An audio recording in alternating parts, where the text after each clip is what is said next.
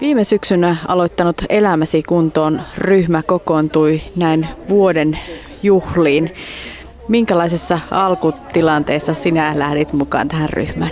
No minä lähdin silleen, että mulla aina semmoinen syksyaika on vähän huonompaa liikunta-aikaa ja yleensä vähän painokin on aina noussut. Ja silloin oli päässyt viime syksyllä aika paljonkin nousemaan painoa, että oltiin yli 115 kiloa painoin silloin ja toi, toi tuntui, että jotain pitäisi vähän tehdä. No minkä verran nyt on sitten liikuntaa tullut lisää?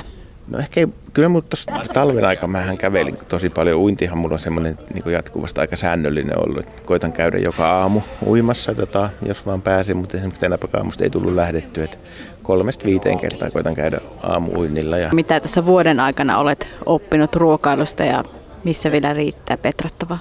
No tietenkin toi viime talvi meni silleen hyvin, että sitten ruoan suhteen osasi pikkasen katsoa sit ruoan laatu, eli noita vihannes ja vihreitä ja muuta tuli parannettua, mutta nyt sitten taas vähän tämmöiset niin kuin makeet öö, pullat sun muut on valitettavasti tässä ollut taas. Mutta nyt kuitenkin on vähän, vähän taas saanut petrattua tässä parin viimeisen viikon aikana, että kun tämä meidän tapaaminen tuli, niin sitten sitä, sitä kautta sitten niin kuin rupesi miettimään sitä asiaa, että miten, se, miten sitä voisi katsoa sitä ruokavalioakin. Niin, eli sitä kuria tuli tämän ryhmän myötä. Mitä muuta sait tältä ryhmältä? No kyllä tässä ryhmässä on ollut se hyvä puoli, että se on ollut kuitenkin aina niin kuin kuullut noiden muiden ihmisten niin asioita ja minkälaisia mietteitä on sit niin siihen liittymäkohtia. Ja sitten tietenkin ollut niin kuin se, että mä vähän jotenkin tämmöinen kilpailujen kautta aina vähän mennyt, jotenkin kokenut sen, että kun on nyt joku paikka, missä voisi peilata, että tämä painon putoaminenkin viime talven oli vähän semmoinen ikään kuin jonkin tyyppinen kilpailu, että sitä kautta sai sitten vähän semmoista pientä ideeta itselle. Ja sitten tietenkin tämä, kun tämä on kuitenkin tälleen niin ollut karjalaisessa ja tässä elämäsi kunto oli tuossa k koko aika pyöriä ne videoissa, niin siitä sitten se laajempi että kun sitä sitten tuolla ihmiset jonkun verran myös omat, omat tuttavat ja työporukoissa ja seuraa sitä, niin sitten saisi aina semmoista kommenttia ja vähän tsemppiäkin siihen hommaan. Kun tämä ryhmä vuosi sitten starttasi, niin minkälainen sinun lähtötilanteesi oli? No tuota, se oli sillä tavalla, että me olin marraskuussa ollut vaikeassa leikkauksessa, eli ajoveren vuoto. Ja pää pantiin kiinni kiinni ja sinne laitettiin yksi nipsi sitten. Vuodot saatiin kiinni, mutta taas yhteen tai piti laittaa nipsi, sitä ei saatu kiinni. Ja puoli vuotta oltiin siellä sängyn, että pari tuntia, pari tuntia liikenteessä ja jaksaskohan vaan, eikä taas pitää mennä pitkäksi ja ottaa päästä ja näin. Että, ja silloin monta kertaa tuli mieleen, että voi hyvä, ei me näinkö minut tämmöinenköhän minä sitten tämä loppuelämäni ole. Sitten tuli tämä elämäsi kuntoon.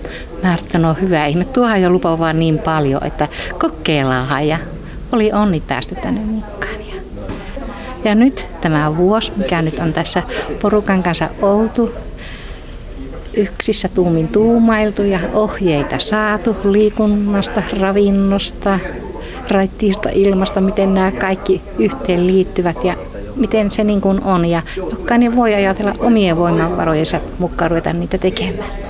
Ja siitä se uskoo vähitellen, olen saanut ihteeni, että kyllä, kyllä se, kyllä sen täytyy onnistua. Ja omasta mielestäni olen onnistunut.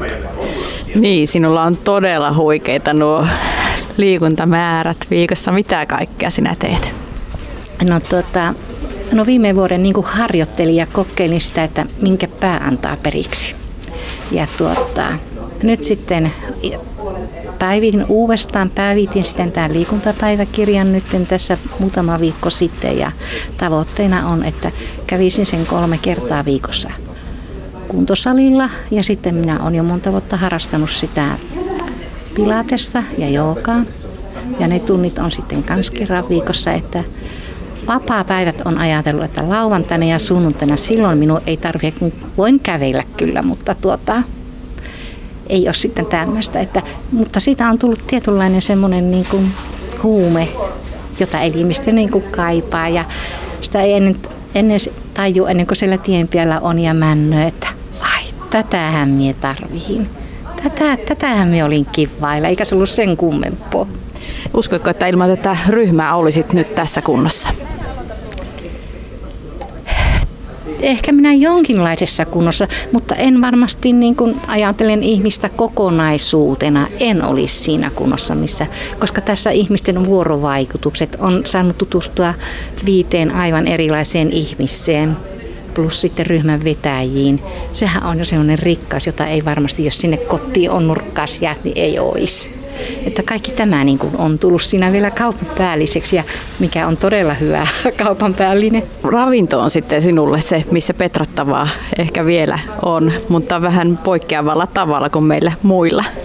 No näin, että mulla on ollut se, että en meinaa malttaa syyvä ja sitten joskus kun sitten syön, niin en tietysti syö oikein. Ja enkä syö oikeisiin aikoihin. Että tässähän mulla on todella petraaminen. Että... Mutta asteikolla yhdestä kymmeneen, kuinka lähellä olet tuota elämäsi kuntoa?